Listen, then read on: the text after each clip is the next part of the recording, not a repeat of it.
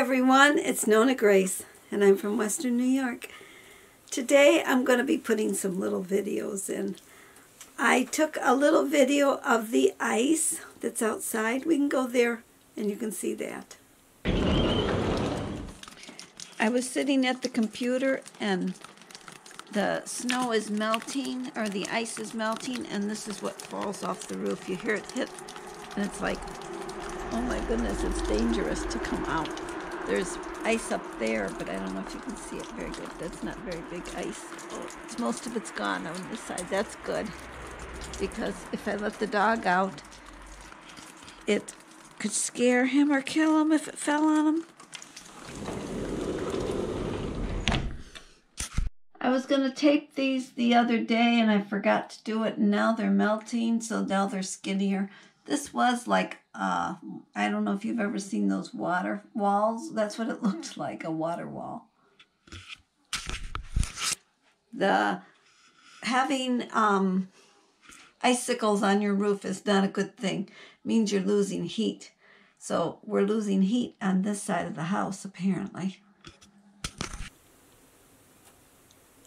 I took a little video of how I, I thread a needle and we'll go to that one.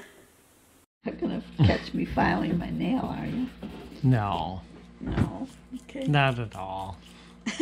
that was not a that was not a true whatever. Might as well do the other side since you're watching.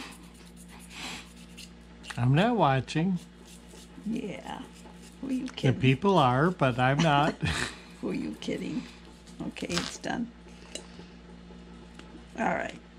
Now, what I wanted to show is whenever people have these needles and yarn, and I always see them try to make this end that's kind of funny, fuzzy.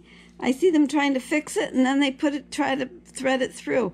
Why do they do that? All you have to do is fold it in half, put the needle against it, and push and it comes right through. So easy.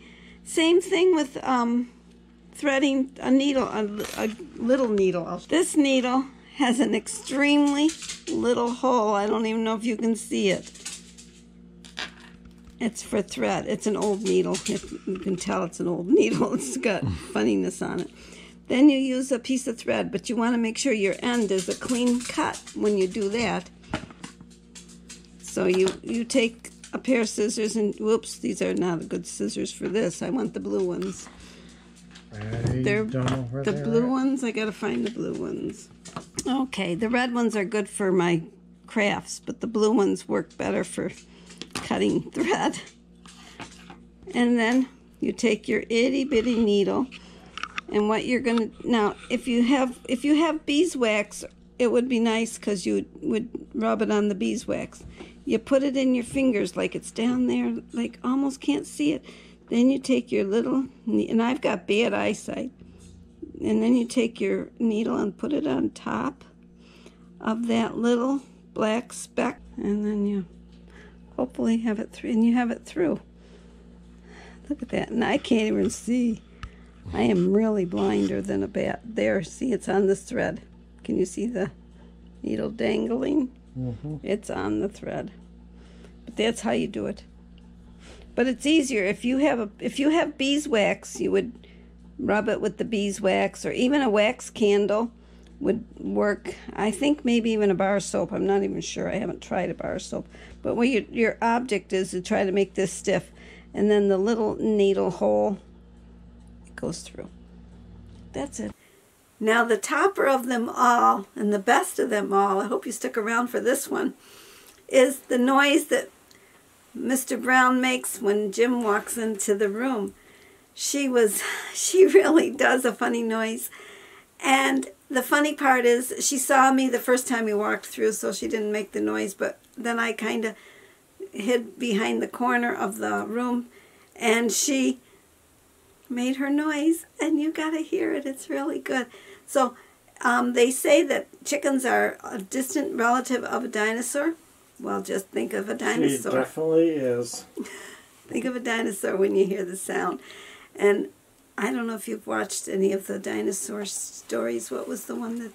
Jurassic Park. Yeah, that one was good. And that's what they sound like. They sound just like her. We're going to try to catch the sound that the chicken makes.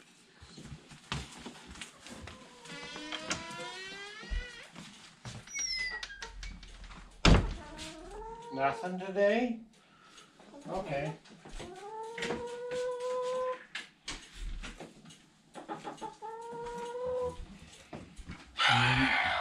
There you go. That's too funny. So I hope you enjoy this little short video and we'll see you all tomorrow. Bye-bye.